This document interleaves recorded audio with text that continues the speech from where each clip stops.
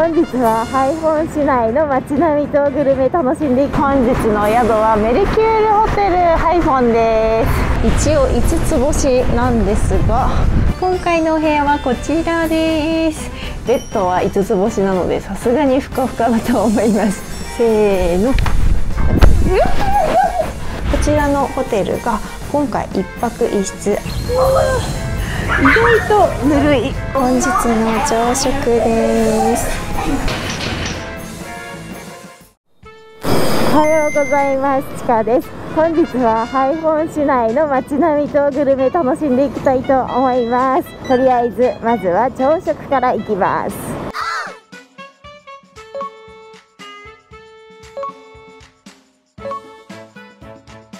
左手に大きなコンドミニアムありますね。日本人の方もねここに多く住まれてるんでしょうか。iPhone はコンドミニアムがいくつもあるので外国人でも住みやすいですね。ちょっと朝食に行くお店の道を間違えたらねイオンの前まで出てきました。こちらベトナムイオンモール6号店です。iPhone のねイオン昨日ちょっと中覗いてきたんですけどめちゃくちゃ綺麗でしたね。まだ新しいので瓶詰のイオンより良さげな感じでした。ただハイフォンのイオンはビンズンのイオンみたいに人あんまりいなかったかなって感じ感じでしたね。お客さん少なめかなと感じました。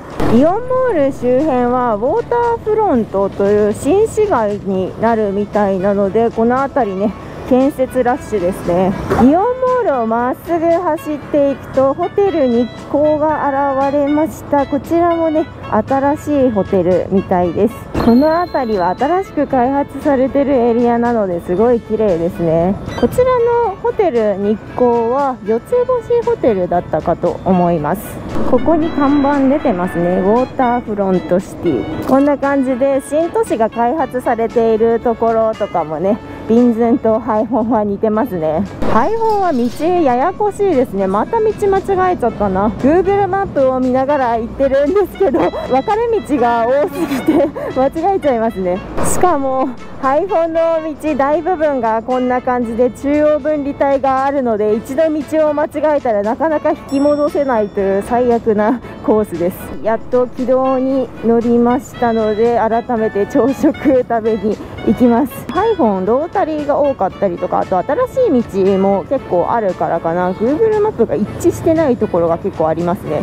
ということで本日の朝食はネムクアベイというハイフォン名物のカニの揚げ春巻きを食べに行きます。有名店がこの辺りにあるみたいなんですがまさかの市場の中かな？ということで本日の朝食はこちらでいただきます。周辺に似たようなお店がいくつもありますがおそらくこちらが口コミの多い有名店です。こちら側にも同じようなお店がずらり。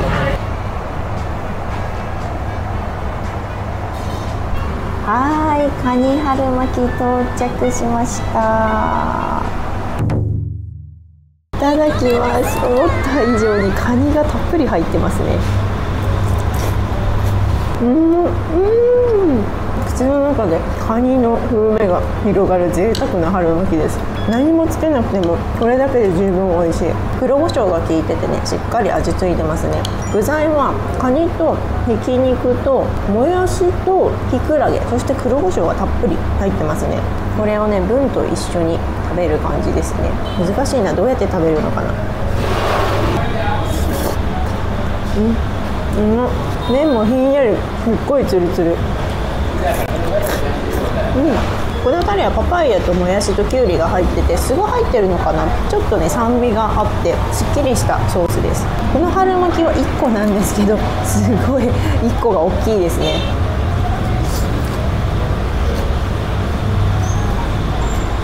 うんうん。一つ一つが美味しい。分自体も美味しいですね。ちょっと春雨みたいな感じのツルツル感があります。うん。の分が重すぎない軽く食べれる感じの食感でいいですね。米粉臭さもないしいいです。うん。このソースねちょっと冷やし中華のタレみたいですね。本当にさっぱり食べれる。バンダークアとかもそうですけど iPhone はねカニの使ったお料理が多いですね。あとカニ鍋とかも有名ですね。ベトナム人はねカニが大好きでカニが有名じゃない都市でもカニをね必ず食べてるぐらいですね。ここの市場にもねカニが並んでました。うん。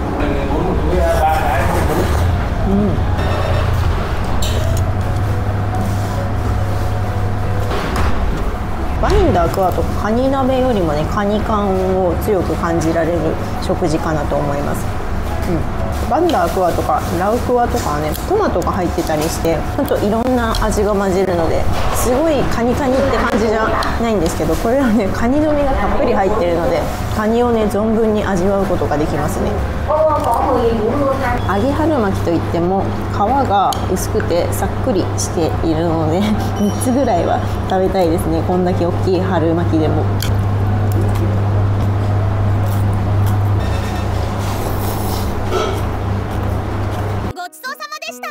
揚げ春巻きの中で具材はカニが一番贅沢で美味しいですね。やっぱり海鮮が取れる町はいいな。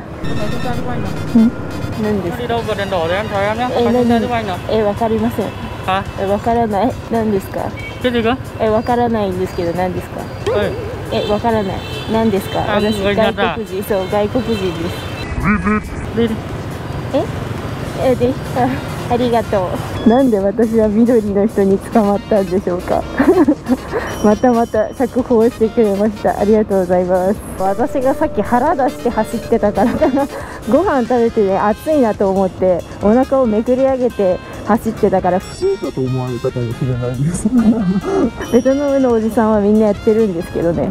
それではハイフォン市内を一周見て回りたいと思うんですがハイフォン市はフランス統治下に建設された古い街並みが魅力ということなのでコロニアル建築をメインに見ていきたいと思います。まずはこちらハイフォン駅です。ってことでこちらがハイフォン駅です。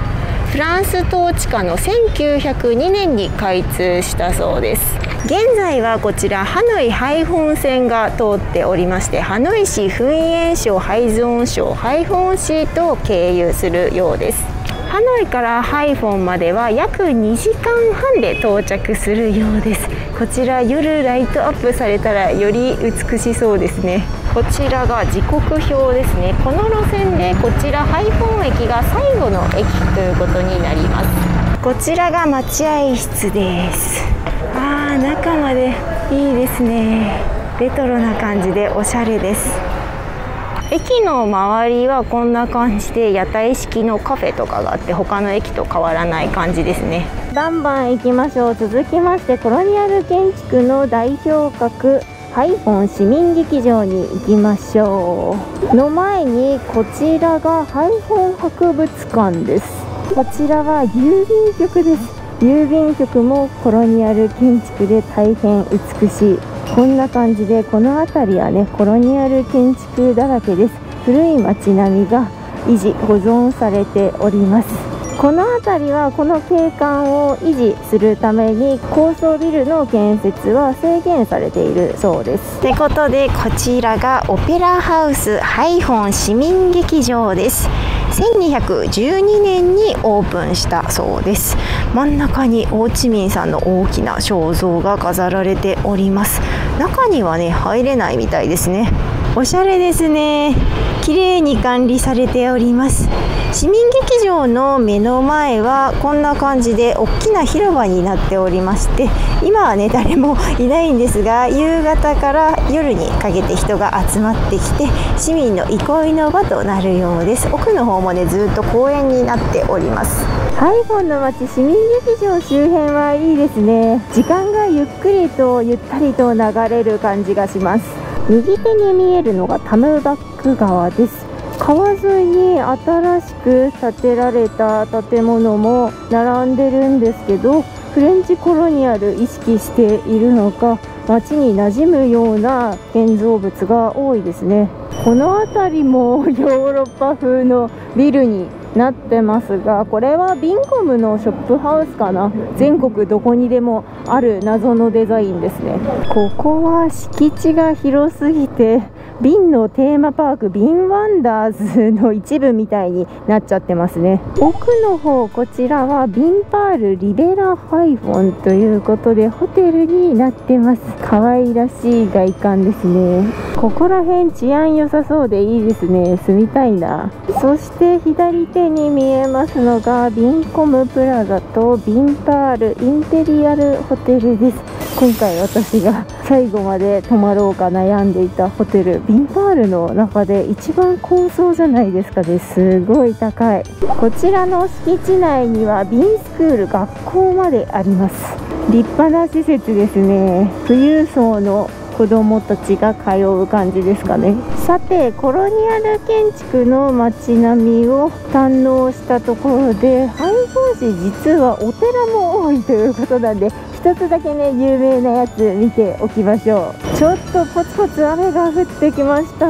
でも北部はねだいたい年中曇天なんて言われてる中私はガンガンデリばっかりだったのでこれぐらいの方が嬉しいですね。おーいドゥーハンパゴダやってきました。別名フックラムパゴダというみたいで英語表記ありますね。外国人も多く訪れるんでしょうか。こちらのドゥーハンパゴドは数多くあるハイフォのお寺の中でも有名なお寺らしいです。先ほどのフレンチコロニアルな感じとは一点漢字が多く見られて中国色の強い空間ですねベトナムの伝統建築様式と中国の建築様式が入り混じったお寺となっているようです古い感じは残っているものの新しく作られたであろうこういったちょっとふざけた感じの像もあったりして、まあ、観光地化されてる感じなんですかね。ということでこちら宝中寺院にやってきました。こちらの黄色の美しい塔が遠くからも目立っております。ハイフォンの数多くある寺院の中でおで口コミ評価が高い寺院ですね。先ほどのフレンチな感じとは正反対にアジアな感じベトナムの伝統建築様式と中国の建築様式が組み合わされている寺院みたいです。豪華なお寺です。下すごい苔ですね。綺麗なモスグリーンになっております。細かい彫刻のドラゴンです。この辺りには漢字がたくさん並んでいて中国色が強いですね。まあこんな感じで良くも悪くも割と派手めな寺院ですね。苔の上には美しい彫刻のドラゴンがいます。ヨーロッパな感じもいいんですけどこれはこれでまたおしゃれな感じもしますね。美しい景観です。まあ寺はねこんな感じで全国どこに行っても似たような感じではあるんですけど北部に入ってからは南部よりも中国色が強い街並み特に任ンなんかはねそうだったんですけどハイフォンはこういうお寺は街中にいくつもあるものの街全体としてはやっぱりフレンチコロニアルな感じを推してるのかなという印象ですね。ということで動画になるのは ごく一部になるんですがハイフォン市内で路地も含めぐるっと一周見てきて面白かったです。満足したのでお昼ご飯に向かいます。ハイフォンはさすが大都市なので真っ昼間から交通量多いですね。路中もすごいですね。今日のお昼はハイフォン名物のバンミーカイという小さなバンミーを食べたいと思います。先ほどからね歩きながらバクバク食べてる人がいるので早く食べたいですね。はいってことでこちらです。こちらがバンミーカイのちっちゃなバンミーです。そしてパテがいっぱい並んでますね。はいバンミー会ゲットしました。これはねこれからちょっと有名なチェア屋さんがあってそこ行きたいんでそこで食べたいと思います。ってことで本日のお昼はこちらでいただきます。デザートのお店ですね。可愛い人がいますね。可愛い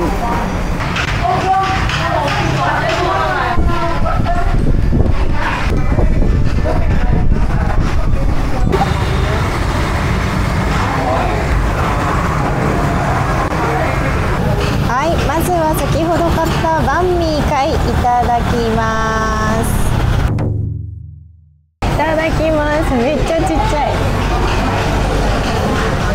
うんおいしい。手作りのパテが美味しい。これは本当にパテしか入ってないシンプルなバンミーです。うん、うんバンミー貝というのはねおそらくこのソースのおかげですね。もともとは辛くないみたいです。これにつけながら食べるのかな。うんうまっ結構辛い。ちょっと酸っぱめのチリソースです。うんバクバク食べれちゃいますね。ただお食事というよりはおやつとかスナックって感じですね。うん。でも何人用かわかんないんですけどみんな30本とか40本とか買っていってますよね。1人10本ぐらい食べるんですかね。10本で2万5000円丼みたいな売り方してます。だから普通はね皆さん10本は買うみたいです。うん。すごい美味しいしちっちゃいし10本ぐらいは余裕です。うん。パテに全然癖がなくてシーチキンのサンドイッチ食べてるみたいな感じです。意外とこのパテにねチリソースが合いますね。うん。これは作業しながらとか食べれるのでいいですね。うん。続きましてズワザムいただきます。一番上に大きなココナッツアイスクリームが乗っててココナッツの果実が盛りだくさんにあとタピオカとアロエが入ってます。このねアロエとココナッツがメインですね。これもねハイフォン名物で乗ってました。うん美味しい。ココナッツミルクが濃厚です。タピオカとココナッツの果肉とアロエが口の中で一緒になってね面白い食感ですね。うん。もちもちプルプルコリコリって感じ。iPhone はねチェー屋さんが多くてすごい美味しそうなのが路上に並んでますね。うん。やっぱりこれだけ大都市とかと観光地で有名な場所だとねいろんな食べ物名物があったりとか名物じゃなくてもねローカル店のレベルがね自動的に競争が激しいので上がってきていいですね。食べたいものが街中に溢れてます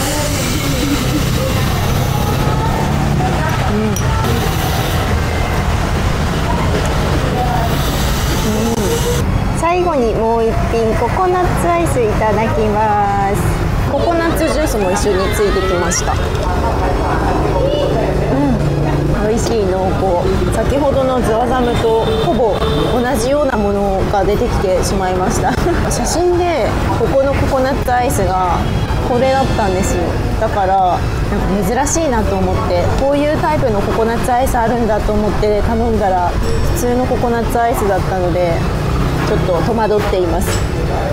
うん。味は美味しいです。ただめちゃくちゃココナッツアイス界でトップというわけではないですね。なのであのソフトクリームじゃなかったらさっきのねズワザムで十分だったのに欲張ってしまいました。うん。このココナッツアイスはどっちかっていうとシャーベットっぽい感じですね。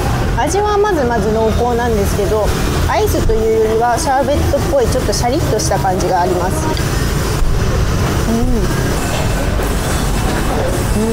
ココナッツアイスってこのタイプだとちょっと1人にはね大きすぎてお腹痛くなりそうですね、うん、前のバージョンと変わったんだったら写真載せないでほしいですね。私間違えないようにその写真を見せてこれって言ったんですよ。でこれどれって言ったらこれって言われたから頼んだんだけど普通だったからびっくりした。うん。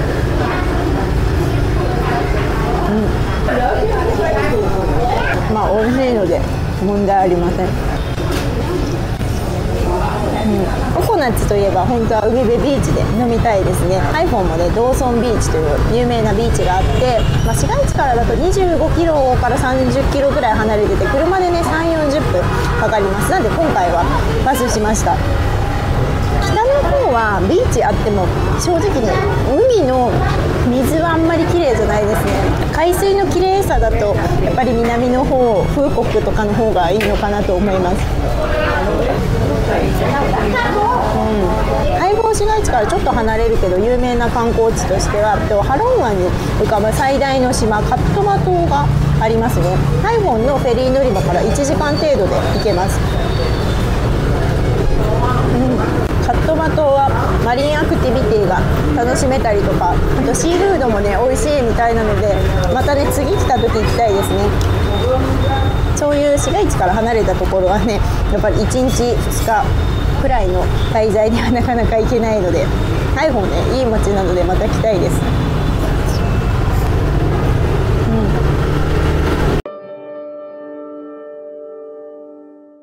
ごちそうさまでした。珍しく可愛らしいランチだったんじゃないでしょうか。こんなにね口の中がココナッツ味になったのはベンチェ以来かもしれません。そういえばココナッツって南の人より北の人の方がきらしいです。確かにね街中に中部南部より北部の方がココナッツ売ってるところ多いような気もしますね。いやーハイフォンは大都会ですね。ダナンもハイフォンもどちらもベトナム第3の都市という呼ばれ方。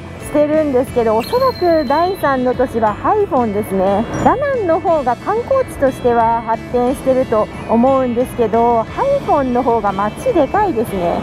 とりあえず今からホテルに戻ります。というのも実はね2日目は違うホテルを予約しているので荷物を取ってね次のホテルにチェックインしに行きます。それでは荷物取ったので本日のホテルに移動するんですが先ほどまで大雨だったので道が川みたいになってます。気をつけて行ってきます。見てください。これ下ですね。うわーそっちやばいなどうしよう。私そっち行かなきゃいけないんだけど。えー、他の道通らないと川じゃん知らない土地でこれはちょっと怖いな。ちょっとねマシな道もある。んですねちょっとマシな道が出てきたらすぐこれですね。大変だなはい本日のホテルのあるラックサイ通りに出てきました。この通りはねあんまり水浸しではなさそうです。はいということで本日の宿はメリキュールホテルハイフォンです。表は SHP プラザとなってますね。SHP プラザはコンドミニアムレジデンスみたいです。奥がメリキュールホテルの入り口です。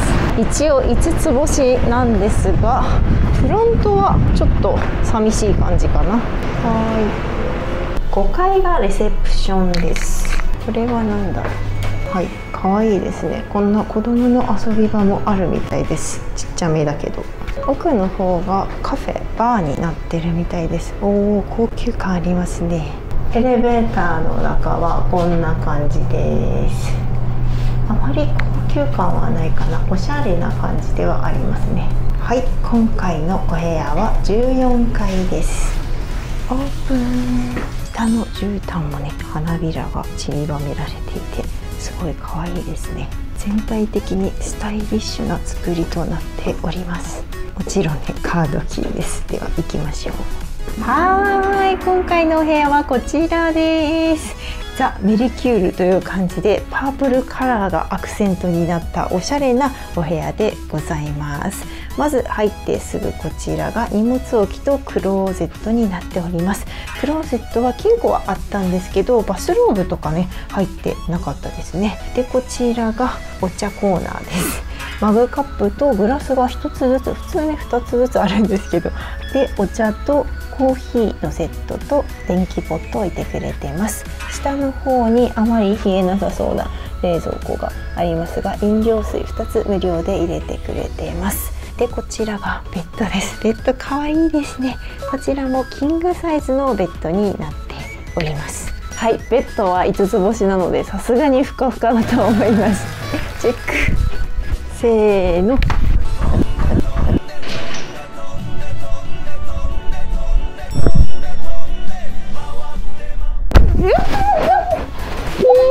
最高レベルのふかふかベッドです布団も高級なやつですねってことで5つ星らしいベッドの深度と布団のクオリティですこちら枕クッションもこん。なに置いてくれてて高級ホテルらしいですねこちらはティーテーブルですね。基本的にまあ2人泊まれることになってると思うんですけど1人用のお部屋っていう感じですね。でこちらがデスクになっております。出張者もね多いと思うので化粧台というよりはねちゃんとしたデスクという感じですごい作業しやすいので嬉しいです。こちらにクーポンがあるんですけどスパ1ヶ月1万5000円ランチもね7800円と意外とお安い。机もねこんな感じで高級感があっておしゃれです。デスクのお隣が窓になっております。景色はというとおーいこんな感じで長方形の窓になっております。14階からの景色はこんな感じです。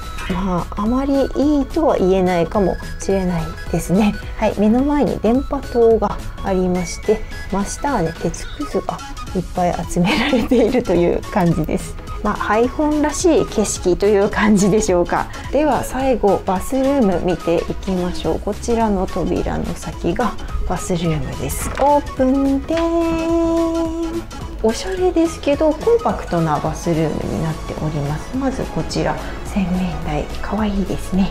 ただアメニティがちょっとしょぼいかなという感じ。この辺りはねメディキュールっぽいデザインでいいんですけどここら辺がねちょっと市販のメガマーケットのものというのがねちょっと気になりますね。ニャーギーとかにも置いてあるやつです。で前は鏡鏡はすごいね綺麗です。こちらにね二面鏡も置いてくれてます。でスペースの有効活用で洗面台の真下がタオル置きになってます。水漏れしてこないか心配な場所ですね。タオルも綺麗に洗濯されてるのは当然なんですが5つ星にしてはねちょっと微妙なクオリティのタオルですね。そしてお隣がトイレです。特別感はないですがピカピカで非常に綺麗なトイレです。正面がシャワールームです。ガラスドアで仕切られてますね。中はこんな感じです。こちらもコンパクトであまり広くはないですが水圧お湯はバッチリでした。タイルは可愛い感じですね。でちょっとソープが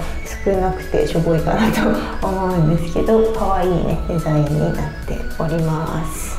最後一番奥がバスタブです。バスタブもねタイルが可愛いですね。ただちょっと奥まっているので開放感がないのが残念ですが1人で入るには十分なしっかりとしたバスタブです。はいということでもう一度お部屋全体をお見せします。全体的にねスタイリッシュなお部屋ではあるんですけどちょっとね狭めかなという感じです。5つ星にしては。こちらのホテルが今回1泊1室明日の朝食ビュッフェ込みで約1万円でした。ほぼ同じ価格で日光ホテルやビンパールホテルも泊まれたんですが今回はこちらが立地が良かったので選びました。なので部屋のクオリティに対してちょっとお値段高いような気もしますが立地条件とホテルブランドがね入っているのかなと思います。はいということで今回ハイホンはいいホテルがいくつもあったので奮発して2日目は5つ星ホテルに宿泊することにしました。最後までね日光と悩んだんですけど日光が4つ星でこちらが5つ星ということだったんでこっちにしたんですけど日光の方が豪華だったんじゃないかな なんて思ってます。でもねやはり5つ星ということでサービスはね最高レベルすごく丁寧で良かったです。はい。ではプールジムスパもあるみたいなんでせっかくなんで行ってきます。はいスパとジムとプールのフロア来ました。一番上です。まずこちらがスパですね。こんな感じです。あんまり高級感ないかな。歯医者さんみたいかはい。こちらがジムです。こんな感じ。割と広いですね。メリキュールの紫のカラーがね効いてる。ジムです。機材一つ一つねすごい綺麗ですね。そして一番奥がプールですね。はいこちらです。あんまり大きくはないけど景色がすごい。縦長のプールですね。景色はじゃーん。はいハイ市内を見渡せますねハイフォンは大都会なのですごいごちゃごちゃしてます。バースペースは広いですね。天気がいい日だとこんな感じの眺めなので最高ですね。こちらはラックチャイスタジアムが目の前です。ごちゃごちゃしてるけど湖とか川があって綺麗な街並みですね。奥の方にウォーターフロントシティイオンも見えますね。ではプール入ります。意外とぬるい感じ冷たすぎるわけではないです。温水ではないですが。意外とぬるい超冷たいかと思ったんですけど冷たすぎるわけではないです。ああ気持ちいい。景色がいいので気持ちいいですね。なかなかこんなに高いところにあるプールはないので、うん、ドリンクをね無料で飲んでいいみたいです。これが5つ星っぽいですねはい夜ご飯食べに来ました。こちらは以前の店舗みたいです。新しい店舗に変わったようですね。大盛況です。はいラウクア丼到着です。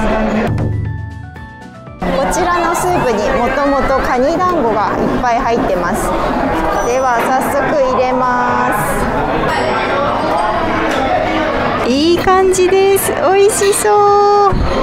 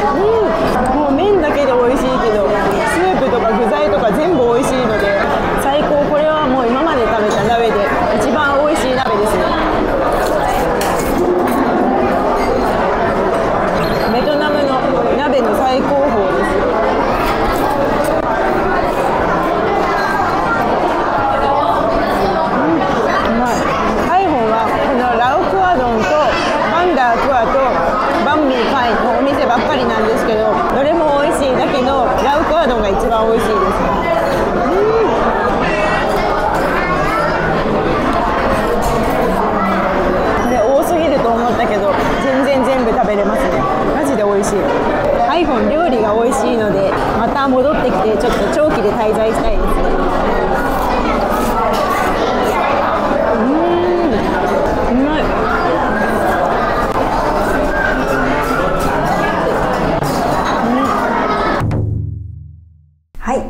ことであっという間にハイフォン2日間終了してしまいました。個人的にハイフォン好きな街だったので明日移動するのが悲しいです。まあ今日はねせっかくいいホテルに泊まってるのでお風呂でも入ってゆっくりしたいと思います。